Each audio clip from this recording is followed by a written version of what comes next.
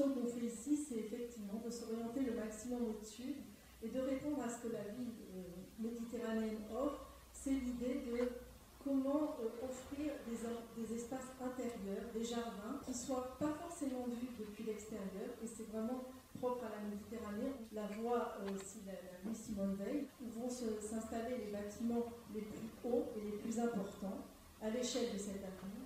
Et à l'inverse, sur la rue intérieure, à côté quartier, plus domestique, tous les bâtiments les plus petits. Donc une double échelle et une grande ouverture sur le sud pour offrir des jardins des jardins protégés et des jardins qui vont être le lieu de vie de ce, de ce campus et de cette université.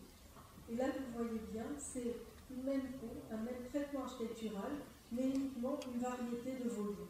Et tout ceci concourt à l'homogénéité du site, mais aussi la ce jeu d'ombre. On a une superposition de fonctions. Dans la partie la plus horizontale, la plus ouverte, se trouvent toutes les bibliothèques.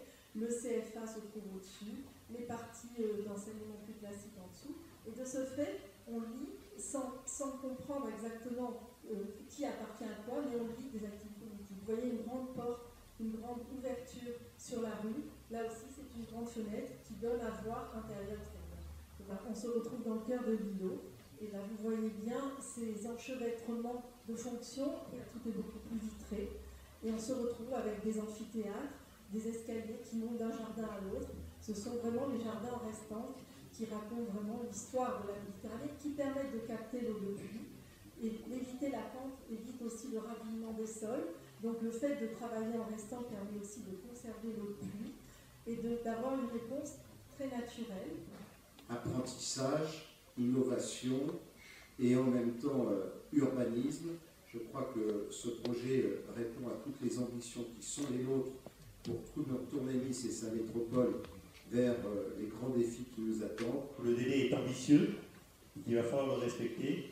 Et comme je suis un entrepreneur, j'aime bien gérer les challenges et nous allons réussir dans cela.